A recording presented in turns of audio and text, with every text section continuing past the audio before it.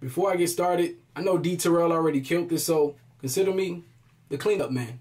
I know a bunch of rappers have killed it already, but I'm about to make my dreams true, make you relive it. I'm Freddy.